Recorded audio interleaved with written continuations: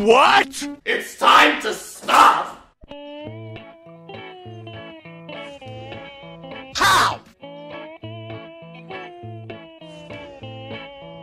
The trap!